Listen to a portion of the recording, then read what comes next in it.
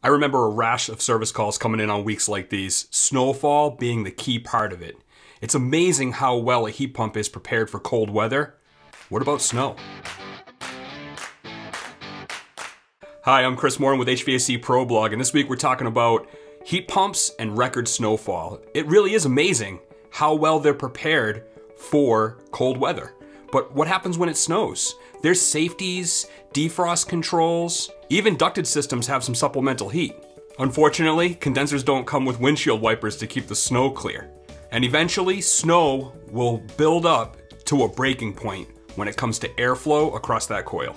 For conventionally ducted heat pumps, this typically means more defrost cycles and even supplemental heaters turning on more often or only when the homeowner flips to emergency heat. When covered with snow, a conventional heat pump will not be able to move air across the coil and will continue to recycle that air within the heat pump, creating quite the ice sculpture.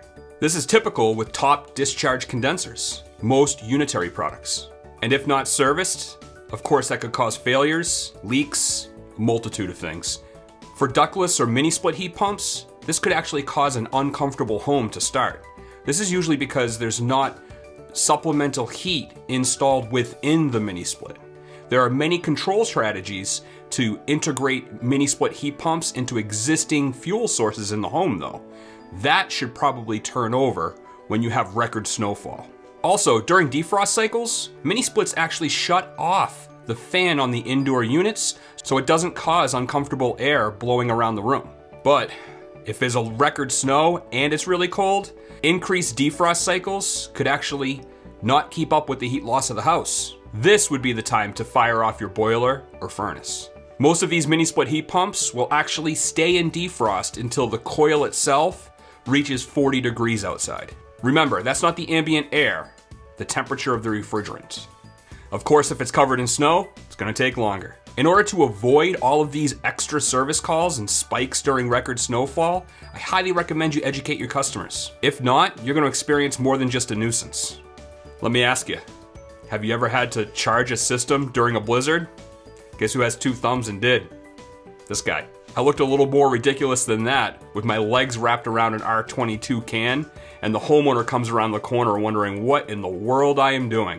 That's when I realized I should have told that homeowner years ago, don't clear that snow with a shovel. She didn't realize there was soft copper pipes behind it.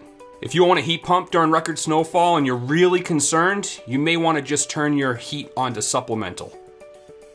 Or use wood.